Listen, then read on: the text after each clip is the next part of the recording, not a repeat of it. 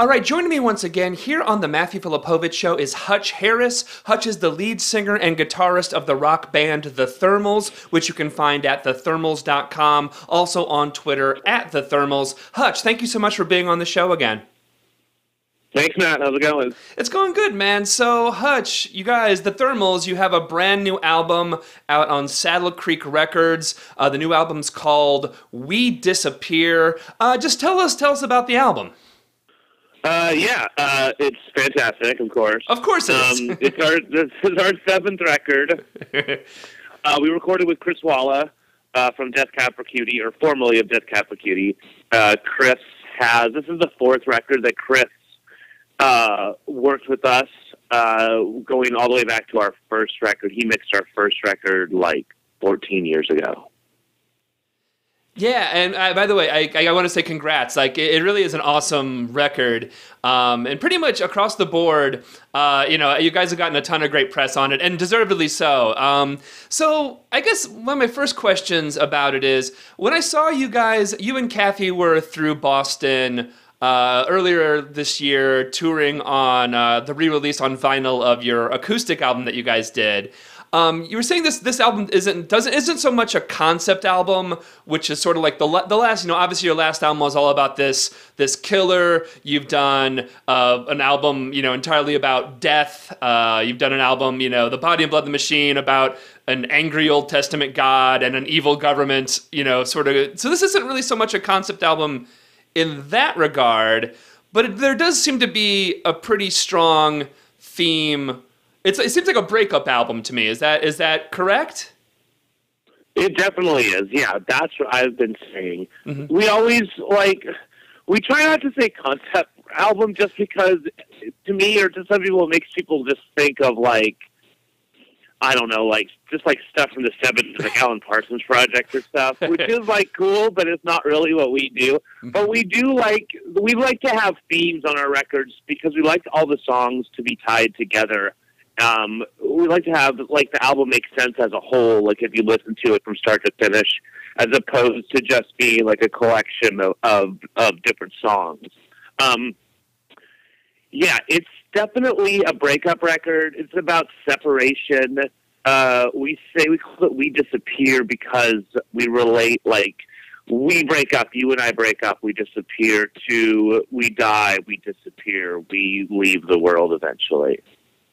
Well, let's even start. So, the very beginning of the album, there seems to be a like at least at the beginning a a bit of technology involved. I mean, the very first one's called "Into the Code." What, what's that song? Because I mean, I, I, I, you know, having listened to it a handful of times, I can kind of definitely the the relationships dissolving and being destroyed happens. Where how does "Into the Code" kind of fit into all that? A lot, yes. So, like the third theme of the record, the the the record is about love, death, and technology. And mm-hmm. when we say technology, we mean like the internet. Um, um, oh, a lot of uh, a lot of just our lives and our art, and, and and now you know for the past whatever fifteen or so years, maybe longer, uh, the internet is just like another thing that we all use to to be immortal, to, to stay to stay around after we die. You know, we uh, the record isn't like railing against technology or the internet. I, it's like, like these kids with their with their internets today and their their grinders and whatnot. It's it's not that. Well, I mean that's all fine too, but I mean that's not what I'm talking about. I mean what I'm like I'm addicted to the internet as much as anyone else. I spend a ton of time on it. And it, it's interesting to me that it's become, uh, you know, uh, it's a lot of it is kind of like what Andy Warhol was saying, like everyone will be famous for 15 minutes. Like the internet gives you a chance to be famous while you're alive. And for not doing too much is the thing. But like, obviously, you know, most people want to be famous in some way. We all want to be known. Um, the way we like present ourselves on social media is like it's a lot of people's art. Like that is their art, like how they present themselves, how they want to be seen and known.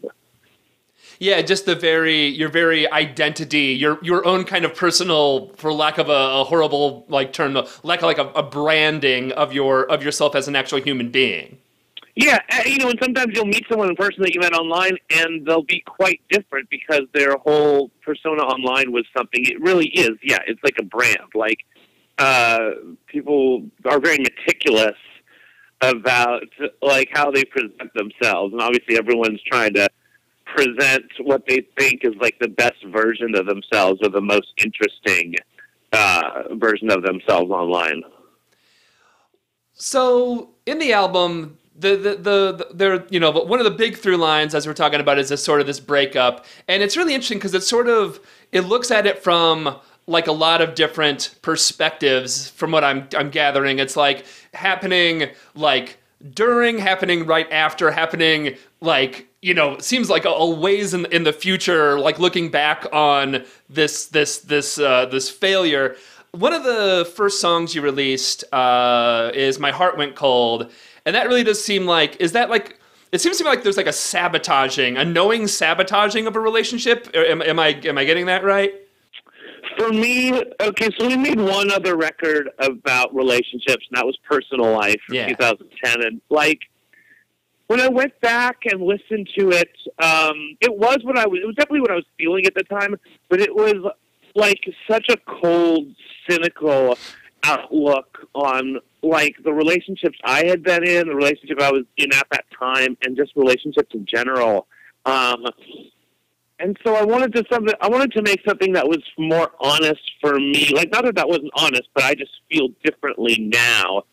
Just looking back on the relationships that I've had and the mistakes that I've made, and so I was trying to make like a record. I was trying to write lyrics about love that were more uh, realistic to where I am now, and and, and for me that meant uh, like taking the blame for a lot of you know for the for the relationships I've been in that have gone sour, which is all of them at this point. Um, and you know, my heart went cold. Just like you know, sometimes. Uh, you know, to me, that was a true story. Like, I wasn't sure why I just kind of turned away from this person. My heart did go cold, and I didn't like not to like take the blame off my. It's it's more to accept the blame. Like, a lot of times in, in relationships, you know, when you talk to your you talk to your friends after they break up with someone or, or, after they get broken up with, they're always all people do is talk about how the other person fucked up and how the other person made all the mistakes and Right. what they did wrong. And it's rare for people to say, even when they've been broken up with, like, here are the mistakes I made and here's what I did wrong. Yeah. Well, uh, the actually, I want, to, bring back to the actually the title of the album, which is actually in one of the tracks. Uh, there's a track called "The Great Dying," which actually contains the title of the album, "We Disappear." Talk about what's going on in that song and how it actually relates to the whole overarching theme of the album. The Great Dying is one of our favorite songs on the record. It really sounds different from any other song we've ever done. We've just never done a song like that. Um, we were trying to make, or at least I was trying to write songs. I was trying to write uh, like a '90s record. Like I still love the '90s. I, you know, went to high school in the '90s, so most of my favorite bands are just like alternative rock bands or um, like emo bands before emo became eyeliner, etc. Um, so really, like Before Saddle Creek Records is what you're saying, essentially. Yeah, I mean, to me, Saddle Creek, that's still real emo. You Yeah. know, I mean, or I mean, I think of Fugazi really, even if they never call themselves an emo band. It's kind of the early, earlier like Dischord stuff, like Rites of Spring, is kind of what I think of as like the original emo band. But um, you know, I don't know. I'm from California too, so there were, there were a ton of thinking of like bands like Indian Summer or Three Mile Pilot. Um, I don't know. A lot of bands that may not classify themselves as emo, but back then we were calling them all emo before like Panic at the Disco and Fall Out Boy or whatever. Before emo became that, before emo became kind of this like uh, hard rock thing or whatever it turned into. right. Um, so yeah, so the Great Dying, um, yeah, to us that's it's like a that's that's an emo song, and we don't you know we're known for doing fast, you know, short songs, and so we really wanted to make this big, like wide, deep Um, it's, you know, it's like a dirge. It's like a, it's a death song. Yeah, and what's really cool is actually how that's pretty much. Um, I, I, I, got it on vinyl, one of the awesome clear uh, vinyls, which is really really cool. I, I, don't know if they're still available, but people get them on on Saddle Creek. Uh, they actually have like a clear vinyl version of this.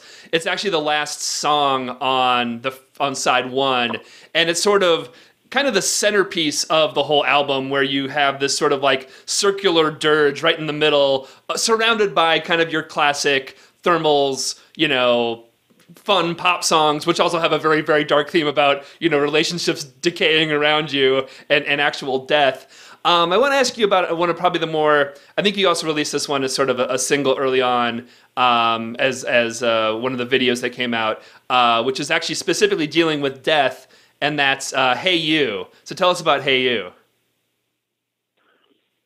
So "Hey You," we were just trying to make just like a loud, crazy party song, mm-hmm. like we're making a video soon for that, and I think it's just going to look like a beer commercial because that's what that song sounds like. That's it's a beer commercial, but it's also like a paranoid fantasy about trying to escape death. That the whole song is just, uh, you know, it, it's just death is chasing you um, all the time. You're constantly running from death your whole life, um, and, and you'll never outrun it. um, so yeah, so obviously, uh, obviously that's the that's the, the perfect lyrics for like a uh, for a party song. But you know, to us, like a lot of times, our songs are the lyrics will be very dark um, and maybe even sad, but uh, the music will still be fun and hopefully uplifting. So yeah, even uh, even when we're writing like a party jam, we're still thinking about death. Which is again why why I'm, I'm such a big fan of you guys. Yeah, it's it's probably the most probably the most like upbeat song on the album. Just like tone like not not not with the obviously content, but literally it's like this grave is like pointing at the at the lead singer and like saying you're coming like you're coming for him. It's it's it's a great song. It's a, it's it's so it's so cheery yet unbelievably like dark at the same time. So so well done. I, I'm really proud of it. Thanks. Yeah, like it's the. Uh, I mean, the lyrics are kind of complicated for it just being like a big dumb because it really is a three chord. There are only three chords uh, in the uh, in the song. It's it, you know it's told from the point of view of like someone who's been framed by the government and is like running from who you know the FBI or CIA or someone. Uh, but it just turns out you're just running from the Grim Reaper. Like you've just been framed by death Bye.